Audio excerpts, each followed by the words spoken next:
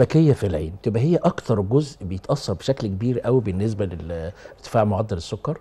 آه طبعا الشبكية هي أكتر جزء وهي أخطر جزء لأن هي تعتبر بالنسبة زي الكاميرات القديمة الشبكية دي تعتبر هي الفيلم اللي بي بيتم بيه التقاط الصورة. تمام. ولما صورة شفنا الصورة اللي موجوده الشبكية هي اللي بيتم التقاط الصور عليها وبتبعتها بال بالأعصاب بال ب ب ب بالعصب البصري للمخ عشان يتم ترجمتها فهي اللي بتستقبل الصور. فلو حصل مشاكل في الشبكية بتؤثر بنسبة كبيرة جدا على ال- الرؤية وعلى العين. تم زي آه، الماده الفيلميه آه اللي زي الصورة. اللي شفناها ديت أيوه. دي صورة العين الطبيعية هي الأشعة الضوء العين بتستقبلها توصل عن طريق مع ال- في المسار الطبيعي لها تسقط على الشبكية الشبكية بعد كده تبعتها المخ يتم ترجمتها إن هو إيه الشيء اللي أنا شايفه ده زي ما قلنا إن شايف مثلا كذا قدامي يبقى المخ بيفهم إن ده كذا هو اللي موجود لو حصل بقى خلل في الشبكية ديت أو في أي حتة في العين يبقى كده الصورة مش هتوصل بالصورة الطبيعية فالرؤية مش هتبقى طبيعية. وخاصة في الشبكية لأن هي جزء مهم جدا